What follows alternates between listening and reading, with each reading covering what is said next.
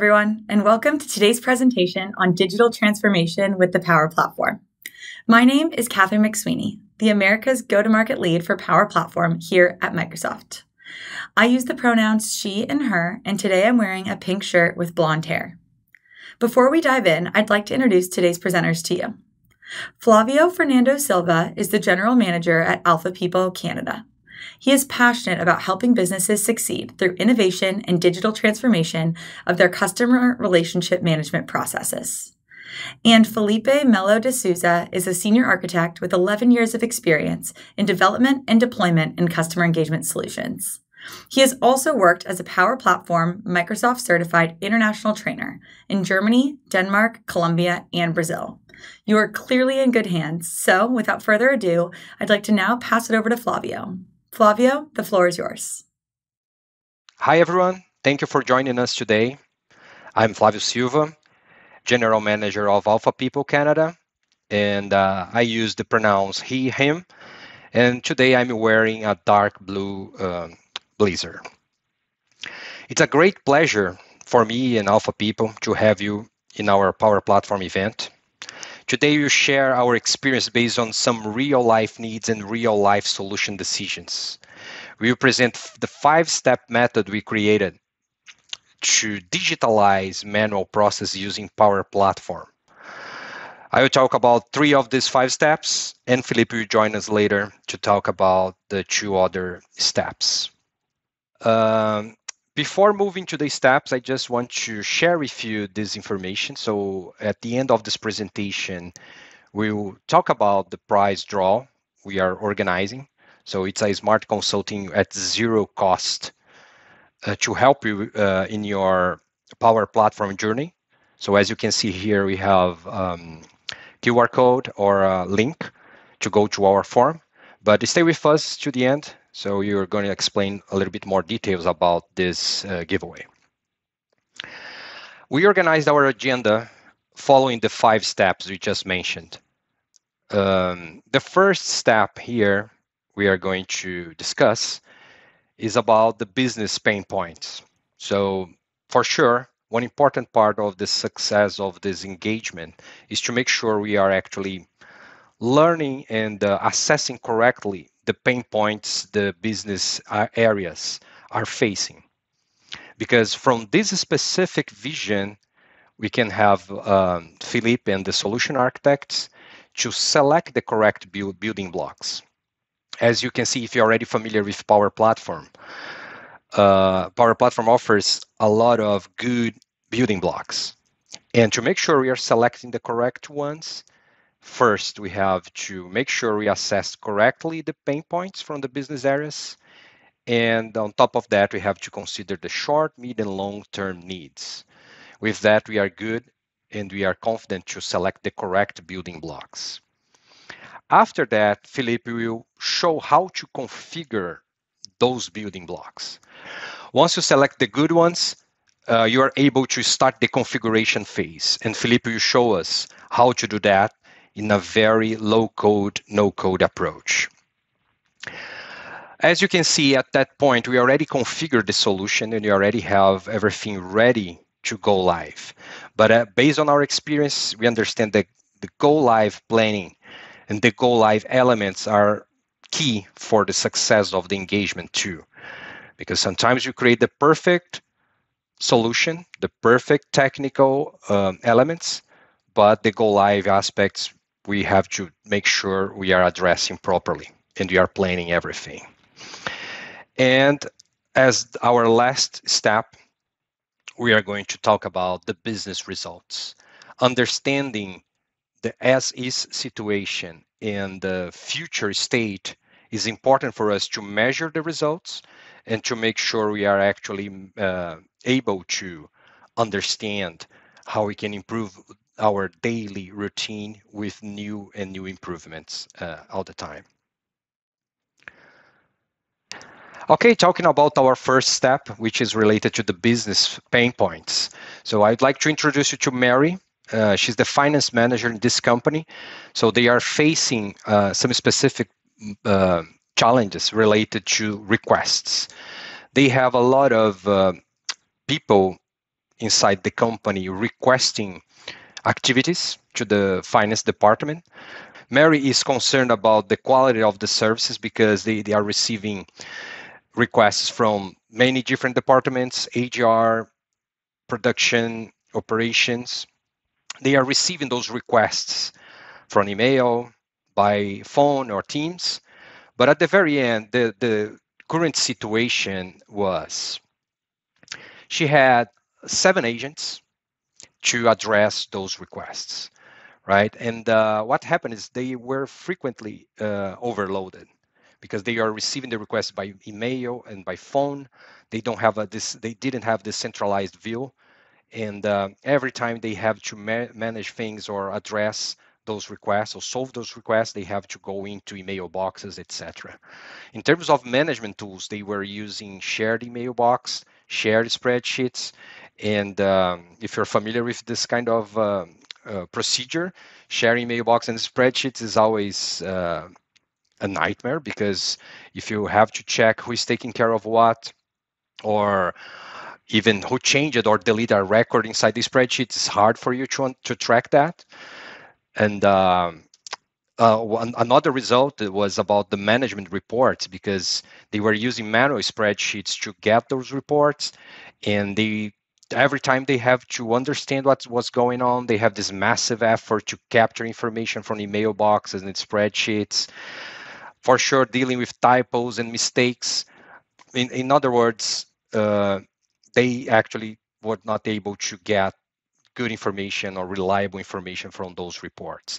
In terms of response time it was impossible to measure because as we said they were using email boxes and shared spreadsheets, so uh, not a good way to measure what is open or uh, concluded, etc.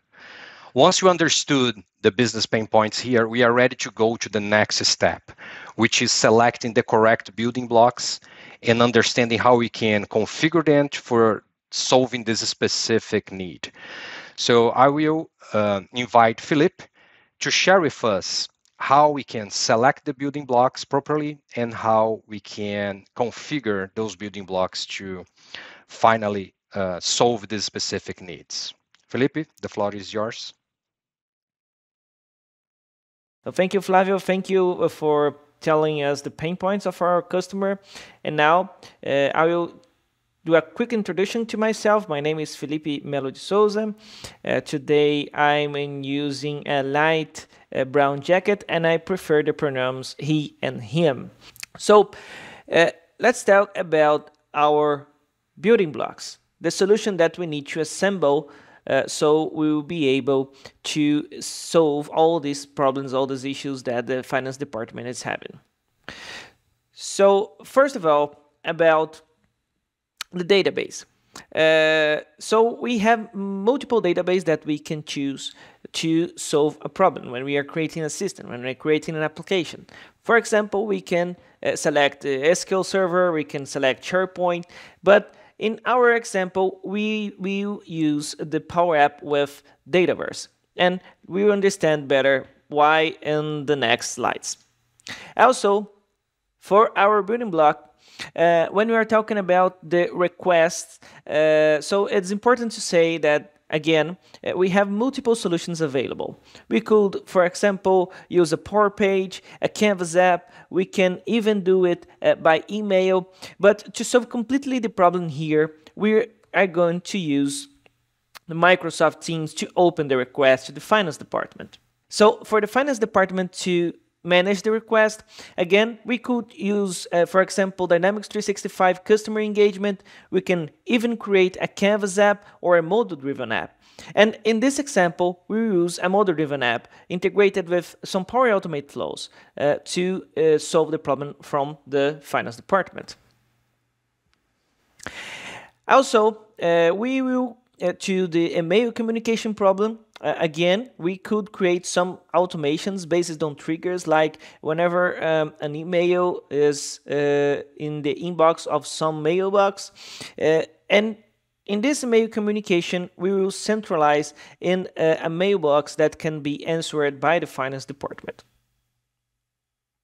Again, talking about our solution. Uh, so for the finance department to solve this request, we will, again could use the customer engagement app, we could use a Canvas app, a model-driven app, and we are going to use a model-driven app for it in a mobile app. And finally, uh, what we want when we are creating any kind of application, it's a dashboard, a way where the managers can realize and make sense of all the data that they are getting. Because of that, so uh, for the management dashboards, we could use Power BI, uh, we could use quick reports, we can use custom reports, and we are going to use Power BI quick reports in this example. So let's configure our solution, understanding uh, point by point uh, why we have chosen these uh, applications to solve the problem from the finance department. So first of all, why we have chosen Dataverse? Because Dataverse is more than just a database. Well, Dataverse maybe is known like the database of the Power Platform. That is true, but not entirely true. That's uh, because Dataverse is more than just a database. It's have this offline capabilities embedded. Uh, we can even have APIs embedded. We have a secure environment and easy access management embedded. Also, we have a nicely 99.9% of uptime. We have automatic backups with 30, 30 days of retention. Uh, so the team that is administrating the Dataverse and the database can easily uh, uh, administrate the Dataverse if needed. And so uh, we have a powerful database when we are choosing Dataverse. And again, it's not just a database, but Dataverse come with a huge infrastructure on it. So we can create uh, columns and forms in a low code way that is uh, very good for our business points that we have in the finance department. So Let's check how it works. Here I am on make.powerapps.com. This is the center where I can, as you can see in the left pane, uh, where I have Dataverse and I have the tables inside my Dataverse. I will click on it. So after clicking on it, as you can see, I already have some tables that are native tables inside the system, like the table accounts and even some activity tables. I even have created a request table for us to use in our uh, application. As you can see, I can easily create a new table. If you, for example, want to give a name to the table, I can easily set it here, even uh, a plural name, and also some advanced configurations that I have below here. For example, I can audit this table uh, already recording the database who have created a specific record when he have created. So that's very good on Dataverse. This always comes embedded with it. I click on the tables request and as you can see I have the columns here where I can add new columns, I have forms, I have views and I even charts and dashboards, all features that I can edit and customize in a low-code approach. If I click, for example, in columns, I can see all the columns that my table request have. I already have some built-in columns and I have customized columns. I have customized some of them, like for uh, uh, example, uh, who is assigned, uh, but I have also uh, used some of these uh, native tables, native, native. I have also used these native columns to use it. Um, as you can see, it's very easy to create a new column. Uh, when I navigate on it, I can check uh, and say wh what is the display name of this column. I have multiple types like text, number, date and time, even uh, lookups where I can relate a table to another one. Uh, I can create out the number columns. So I have multiple columns that I can use. So that's why we have chosen Dataverse. Again, why we have now uh, chosen Canvas app to uh, integrate with Microsoft Teams uh, and to open these requests. Because Canvas app is very useful uh, in his low-code interface. Also, it's very easy to integrate with Microsoft Teams, and because uh, Canvas app is low-code, it's very easy to maintain and deploy. Uh, also, we have a fast adoption and a capability to deliver new features rapidly because we will embed the Canvas app in Microsoft Teams. That is an environment that the users already are using in the day by day. Let's see how it works. So again, I am here on make.powerapps.com and on my left pane, I have the app section. I click on it and I have created this Canvas app called Open Finance Request. If I click to edit this app, I will open the Power Apps editor so we can navigate to some points. Okay, so that's the app that I have created. All the finance requests are here in this Canvas app. And if I go in uh, the preview button, I can see how it works. As you can see, I have the request, I have here on the left pane some menus to create a new request or to see the request that I have opened. I can click, for example, in the new request. And if I do this, it will send me to another page, another form, and I will be able to create a new one. And I also can see all the requests that I have already created. If I click to see what uh, informations I have on this request, I can click in the arrow and as you can see, I can see the status of this request. I can see the description of it, even in which text. I can see when it has created and who it's assigned to its to this request. Let's, uh, in an example, create a new request. So I click on it. And as you can see, I can give a title to this request. So imagine that someone have asked, uh, for example, a new invoice. So I will say, um, please contact AdventureWorks because AdventureWorks is asking for an invoice and it can't find in any mailbox or anything like that. So I will ask to someone to send again to AdventureWorks, our customer, this new invoice.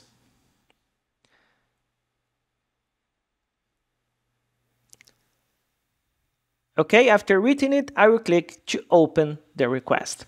There it is, the request is opened already and the Canvas app is have already created the same information and persisted in Dataverse. As you can see, I have the description here that I have just set. This uh, request is open and it's perfect. Now we can see all the information inside our Canvas app. Let's see how this works in Microsoft Teams. So passing to our Microsoft Teams, the user that wants to open a new request to the finance department can now go to the Open Finance Request app, click on it, and here it is. The same app that we have just saw in the Canvas App Editor is now deployed in Microsoft Teams.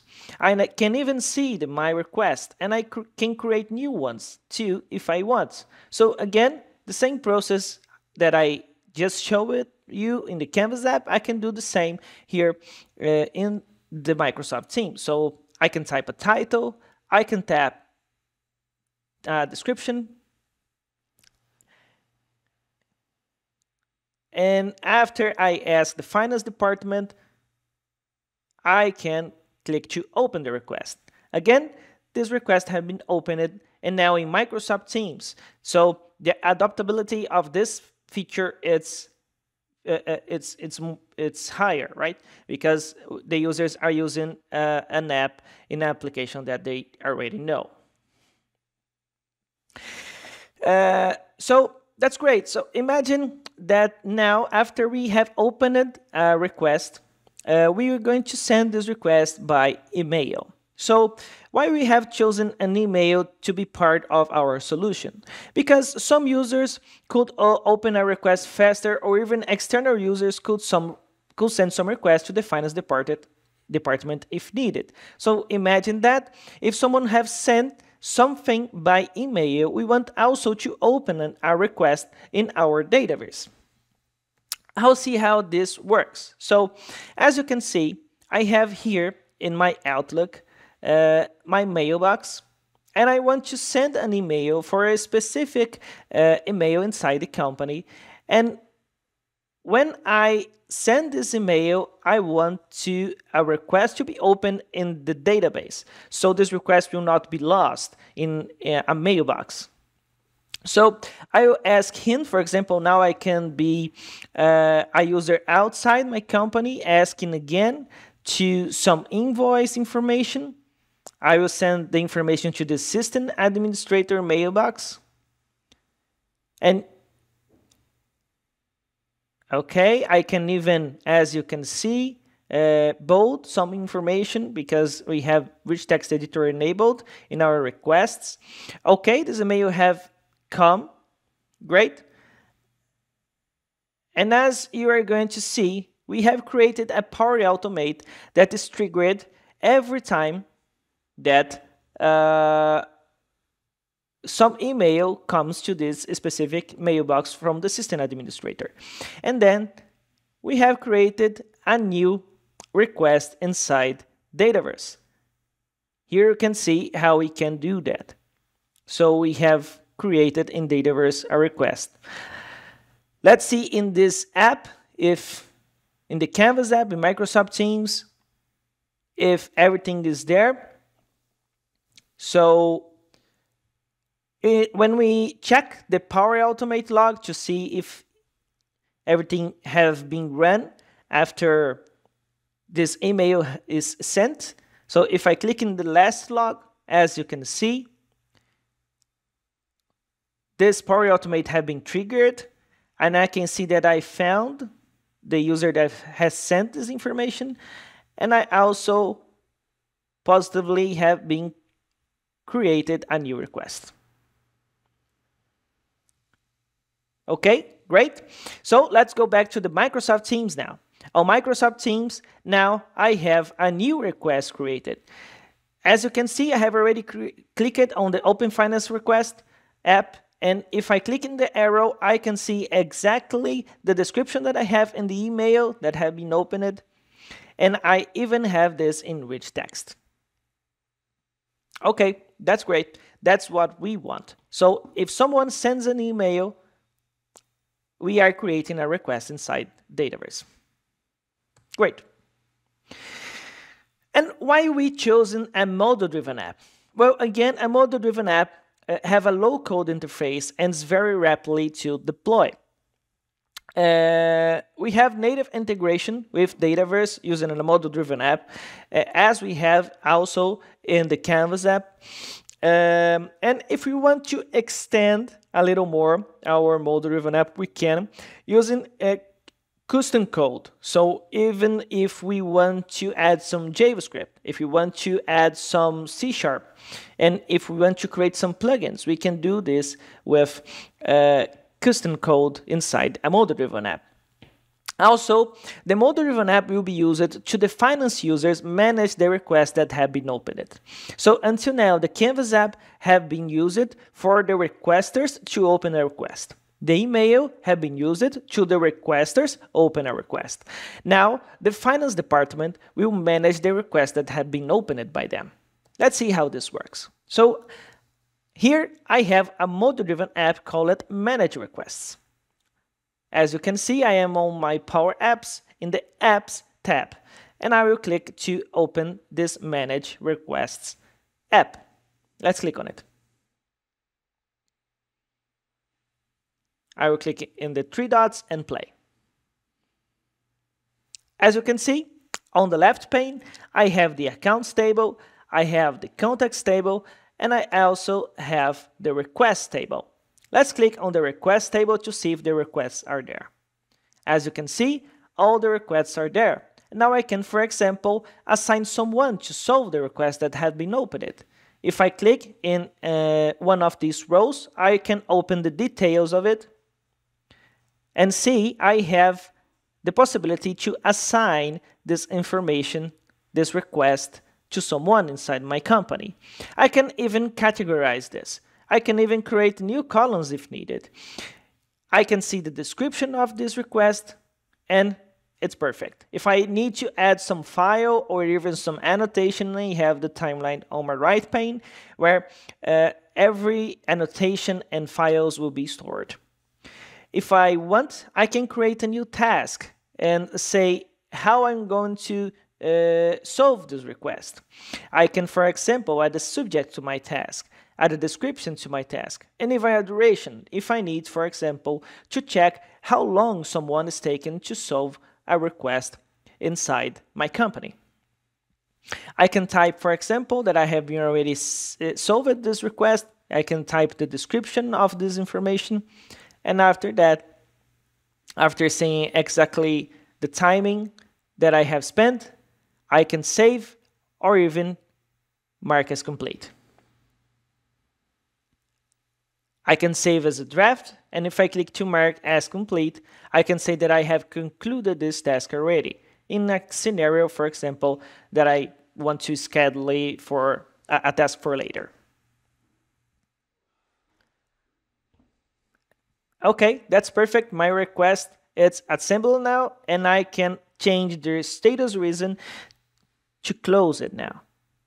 I can even click in the button above, call it close. And I will say, yes, this request is closed, and it's perfect. Now I have solved the request that I someone had opened it. And the request is not showing more in the open request. But if I change the view, for example, to the closed requests, there it is. My uh, request is in the closed request view, not anymore in the open request. So the users can even have a queue to follow the request that needs to be solved. And now that someone in the finance department have already closed the request, a user have received a follow-up in Microsoft Teams. Let's see how that works. So as you can see, I have here the Canvas app and the status of my request is now closed. I can see that is now closed and that all the information is here. And I even have some other status that I can set, for example, the on hold status. But the users can follow up every information, every request that they have opened inside Microsoft Teams.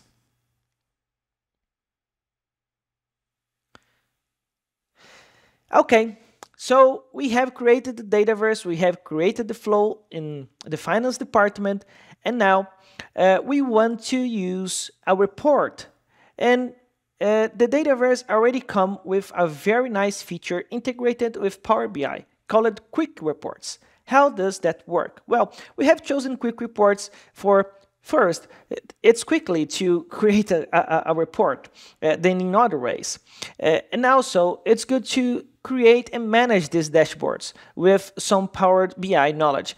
So let's see how this works in the Dataverse. As you can see, again, I am on my model-driven app, and in the ribbon, I have the visualize this view in the Power BI report. I will click on it and it will open for me some pre-configured dashboards in Power BI. And I also can customize this dashboard as I want. For example, I can see how long it's taken uh, for solving the request, how many requests it's being opened by the team, uh, and as you can see now, I don't have just a bunch of data, but I have organized and structured data inside my Dataverse. As you can see, I have even the details of it. Who, for example, is taking care of a request? I have everything here, just set it up. And if I, if I change my view, I have these quick reports already set up. This already come in a native solution. I don't need to make any configuration in the Dataverse. All I need to do is click to visualize this view in a quick report. Of course that I can customize as I want, but it's good to know that we have multiple dashboards already created for us and multiple dashboards that make sense. For example, that who is closing more requests in my team. And as you can see, I can even see the roles that are related to these dashboards. Okay, great. So this is how the Power BI integration with quick reports work. Now let's talk about our go live. We have already set up our configuration. We have uh, our, we have already set up our solution configuration, and uh, I will pass to Flavio again so he can prepare us for the go live. Thank you, Felipe. Yes, and uh, as you could see, we have a very powerful tool here, Power Platform, providing a lot of good building blocks for us to build our solutions. And now it's time for us to be prepared for the go live, right? Based on our experience, sometimes we have the perfect product, but uh, if you miss specific steps for the go live, maybe uh, we will not get uh, the, uh, the result as good as we could. Preparing for our go live, the first thing you have to do is to focus on the users, right? So in this case here, we have two types of users. The first one is the requesters. So we have this specific profile there, people outside our department, outside the company. They are opening requests. So we prepare something for them. And we have another group, which is the finance users. First thing here is to make them familiar with the channels they are going to use, and we have to be prepared for that. So to make sure they know how to open a new request using email, Canvas apps, and Teams, so we prepared. And for our finance team, we have this big shift. So now they are using uh, Outlook and spreadsheets. Now they are going to use a real system, right? So we built a real system using Power Platform. Another important thing here to share with them and to make sure they are very familiar with is about the processes we are putting inside the process, the, the, the system. Uh, we have this big list of requests we, uh, Mary and uh, her team received, and now everybody knows though that those processes will be managed inside the system. And it's important to categorize them, as Felipe showed, because we start having many processes coming, but the next step is to have specific behavior depending on the type of the the process. So for us, it's good to have the, the users familiar with them and especially thinking about the next step when you are going to improve the system based on our experience. Another important element, and I think this is very, very uh, critical for the success of the engagement, is understanding the power platform components we are dealing with. Because some of them are naturally uh, available. For example tables and fields we created. But some of them we have to make sure we actually address properly like the security the users the teams. Like we create the dashboards and everything is available for the go live. So everything has to be perfect for the team to start to stop using the previous solution and start using the new one on top of the Power Platform components, we still have other Microsoft components. This is the beauty of uh, selecting Microsoft for this kind of low code, no code solution. Because Power Platform itself, it's powerful, but when you bring these additional components from Microsoft, they are perfect, right? Because you are using the same credentials for Azure AD, you are using Outlook, Teams, everything that's part of Microsoft um, reality. So we have Power BI and uh, even the other products, FNO, uh, Microsoft D365 FNO or CE. Um, and now we have a lot of AI things happening here in the Microsoft solution. So considering that we start with your specific process, request process, but you can move on in, uh, in the future bring AI elements to improve your processes, it's a, spectacular benefit uh, coming from Microsoft reality. And uh, in my first go live, we don't have any kind of integrations yet, but for sure, our next phase, we are going to have integrations with other systems. And again, Microsoft is coming with a lot of integration components available, right? So if you need Azure Data Factory, Azure Logic Apps, Power Automate. So you can use many and many options to integrate for the future phases. So with that, we have a big checklist for our go live. So we passed from, we are coming from understanding the needs, the pain points, selecting the correct bu- uh, building blocks, configuring the building blocks, and now we are ready to go live. And it, this is exactly what Mary did. So she went live. She and his, her team went live with the solution. And one or two months later, they were able to measure the results. If you think about the fifth step, is the business results. Because we have to start our project thinking about how to measure the solution, how to measure the benefits at the very end. That's why in our first step, first we are very focused on understanding the pain points. And if you remember, we understand now, we can see now uh, how the things changed in this specific department. If you remember, they started with seven agents.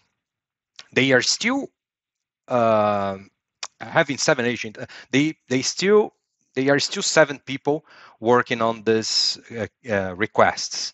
But the difference now is, in the previous scenario, they were frequently overloaded.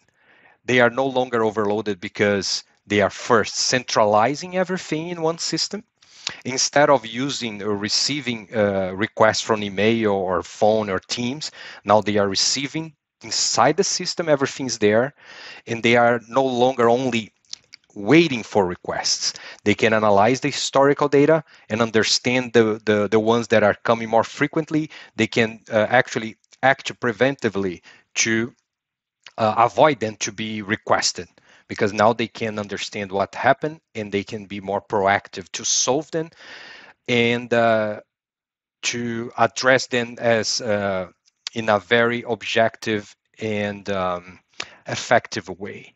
In terms of management tools, if you remember, they were sharing email boxes and spreadsheets, and it was a nightmare to understand who were taking care of what. Now they are receiving everything inside the system and they can assign activities depending the, depending on the type, assign activities to specific users. Now they can rely on the data because they have the secure engine that ensures the data integrity and the proper visibility. So users can see only what they were supposed to, to see. Uh, on top of that, in terms of managing the, uh, the, the management reports, as you remember, they were using manual spreadsheets, though they have to type things, to go to the Outlook, count manually things. And now they are basically using out of the box dashboards capabilities as Felipe showed. They are there. So if you start using the model driven app, you already have the out of the box dashboards there available for you.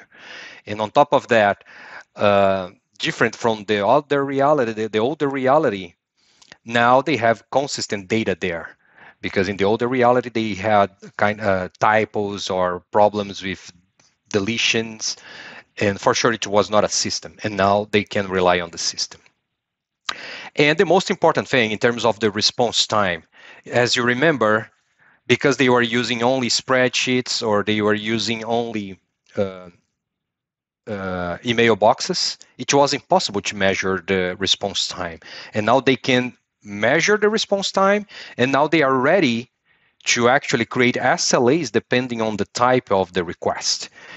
For request type, uh, type A, we have to respond in four hours. Type B, we should resolve in eight hours. So now they are ready to the next level. Bottom line, now they centralize and they have this reliable data. Second, the response time improvement was fantastic because now they can actually track everything, every step uh, very precisely.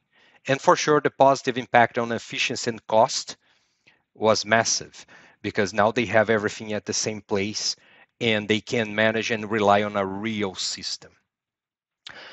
The real bottom line is the customer, the internal customer satisfaction. At the very end, they are much happier now because they can follow the evolution or the solution of the request directly in their teams, as Felipe showed, or they are receiving updates by email automatically. So everything changed. So Mary is happier, her team is happier, and the internal customers are, are happier too because they now are, are using Power Platform, this low code, no code platform that enables us to uh, configure our own solution even citizen developers are able to configure their own solutions.